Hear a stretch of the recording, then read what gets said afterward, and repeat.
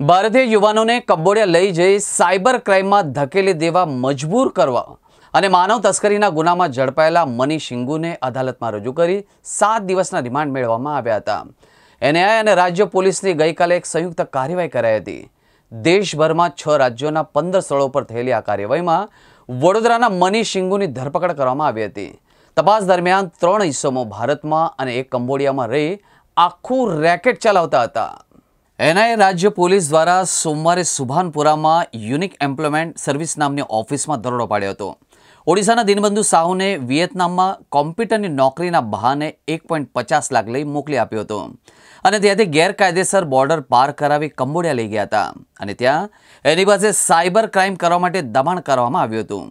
ભારત પરત આવી દિનબંધુએ એનઆઈએ તેમજ વડોદરા પોલીસને મેલ કરી પોતાની સાથે થયેલી છેતરપિંડી અંગે વિગતવાર ઈમેલ કર્યો હતો.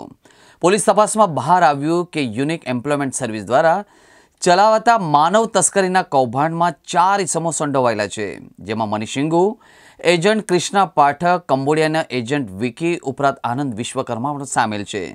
પોલીસે એના ઘર અને ઓફિસની તપાસ દરમિયાન સત્તાવન પાસપોર્ટ જપ્ત કર્યા છે અને અત્યાર સુધીમાં બસો લોકોને વિદેશ મોકલી માનવ તસ્કરી કરી છેતરપિંડી કરી છે.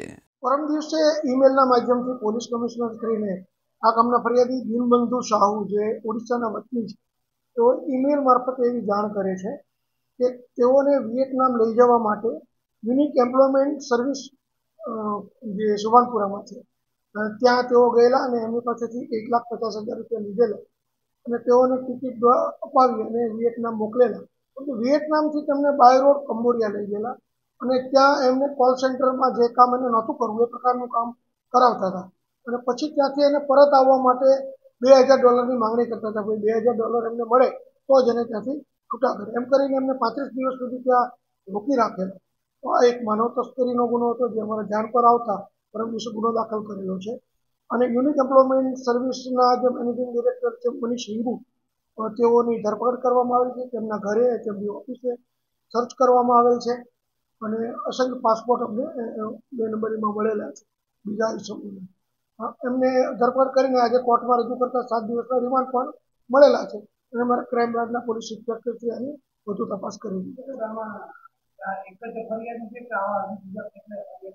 અત્યારે તો આપણી પાસે એક જ ફરિયાદી છે, પરંતુ મીડિયા મારફતે બહાર મેસેજ જશે અને કોઈ બીજા ભોગ બનનાર હશે તો અલગથી વધારાની ફરિયાદ પણ દાખલ થશે. એ સિવાય પણ બીજા આરોપી છે, એજન્ટ કૃષ્ણા પાઠક કરીને બીજા છે.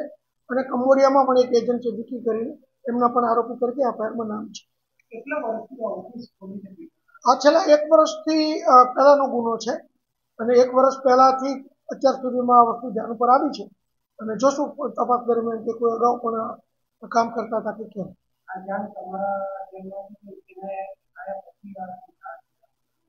નહીં આ જ્યારે એફઆઈઆર માટે જ્યારે ઈમેલ કર્યો ત્યારથી જ આ વસ્તુ ધ્યાન પર આવી